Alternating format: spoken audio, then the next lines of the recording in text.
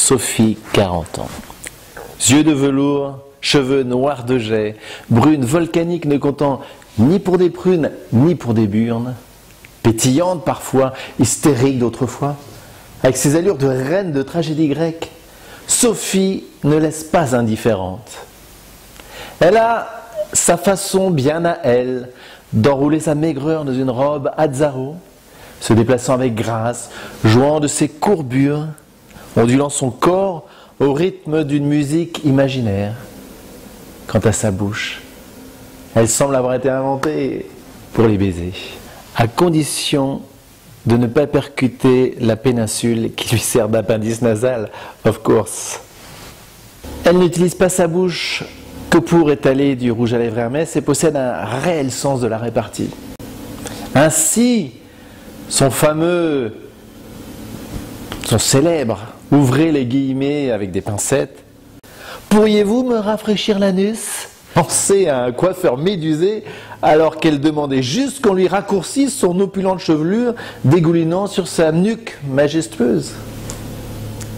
Elle peut être vive, caustique, pétillante d'intelligence.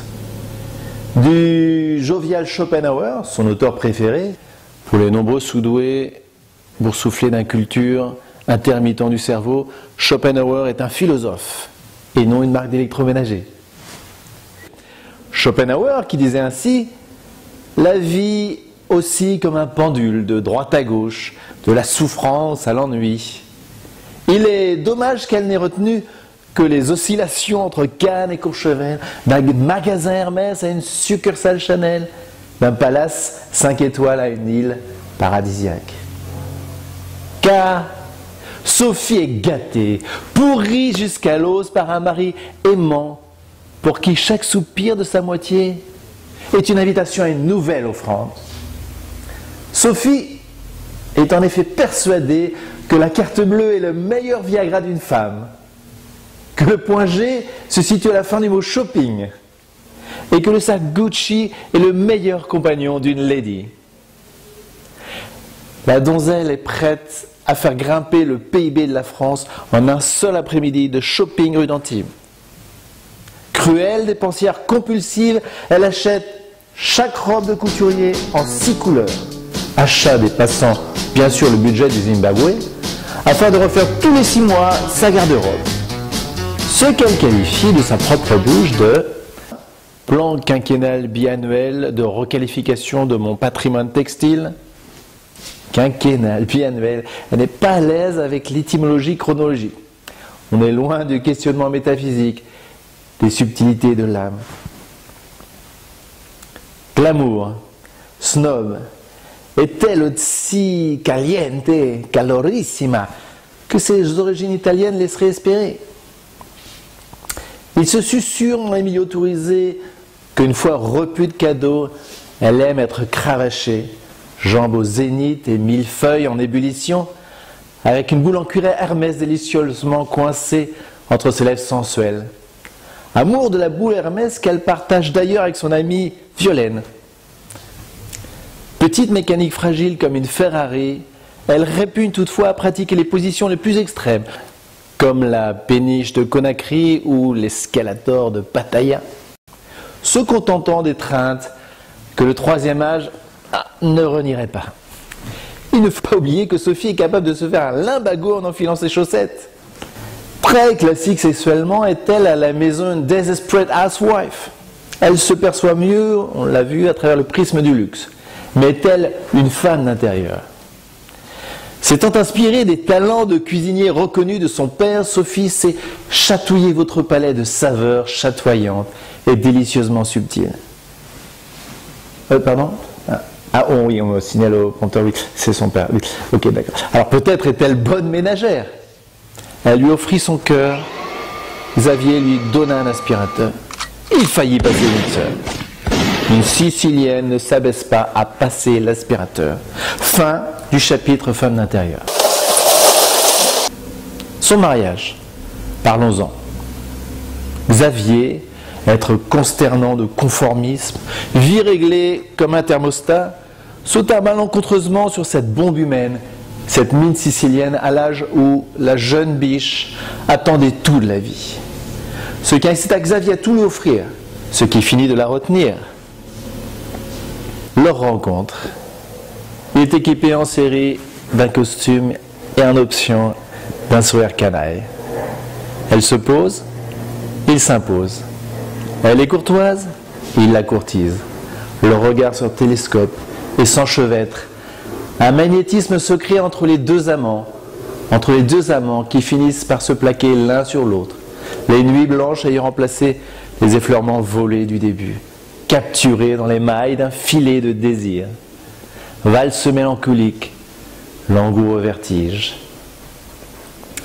À l'intersection de leur pérégrination surgissent deux schtroumpfs, éclats de soleil et de bonheur qui finirent de plonger Sophie dans les zones lumineuses de volupté, vie coagulée dans une routine luxueuse, destin doré de Chihuahua. En filigrane, ne lui restait plus pour meubler ces longues et mornes journées qu'à passer un diplôme universitaire de troisième degré. Ce qu'elle fit en 2006 en obtenant une maîtrise Mention très bien et félicitations du jury en conciergerie, option Argo. Qui s'ajoute à son BTS de sa jeunesse.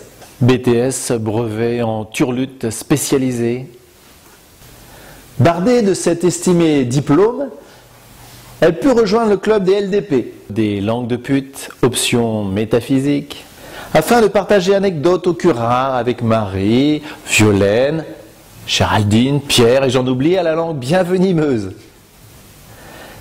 La patine du temps qui passe, la poussière des années n'a pas réussi toutefois à adoucir son tempérament volcanique.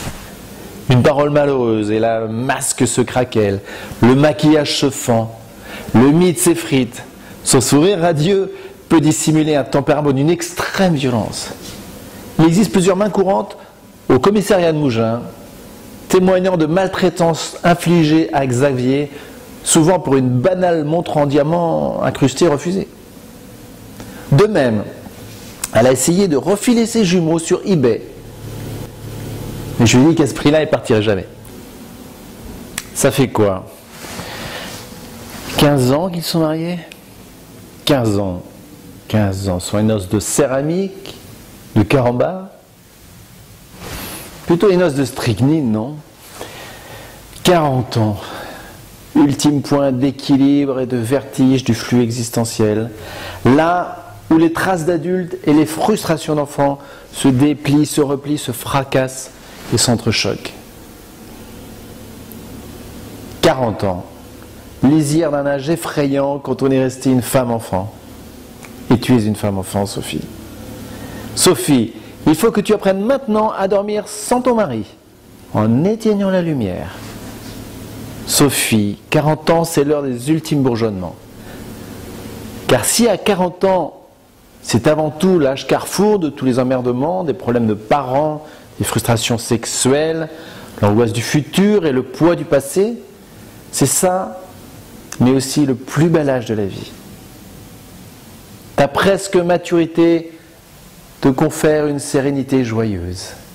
Sophie, raffinée tu resteras. 40 ans ne signifie pas quarantaine. Il te faudrait juste rajouter de la vie aux années et non des années à la vie. Grandis. Sors de ce corps de femme-enfant. XL, c'est 40 ans en chiffre romain. Donc passe-la sur multiplier. Oublie tes phobies de délicates petites fleurs. Car l'âge mûr, par définition des progiennes, des proches, notre maître, c'est l'âge qui précède l'âge pourri. 40 ans, ce n'est pas la perte des illusions, mais le rajustement de l'illusoire. Sophie, tu ne peux pas tout avoir. Ton tact. Tu es supérieurement galbé pour ton âge. Continue à te sublimer, fais nourrir. La grâce n'a pas d'âge. Tu es mon amie, Sophie, pour longtemps. La preuve La preuve Sophie, je t'envoie ce petit message là. Hein, alors que, alors que j'aurais bien aimé, hein, alors que j'aurais bien aimé participer à cette petite partouze marocaine. Mais là, le vent me rabote les yeux. Le vent me rabote les yeux. A vraiment un sacré coup de temps. Allez, bon anniversaire, Sophie